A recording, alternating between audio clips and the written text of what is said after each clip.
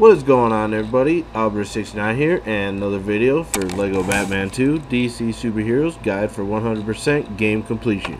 And in this video we will be doing all of the gold bricks on Island 1 for destroying the bouncing objects. Now throughout each island there's a group of objects that are bouncing like here these cones. Superman's the easiest to use for them all but just destroy them all and you will get the gold bricks. So just pay attention to the locations of the map, destroy all the bouncing objects, and you will get your gold bricks. Thank you very much. I'm Albert69.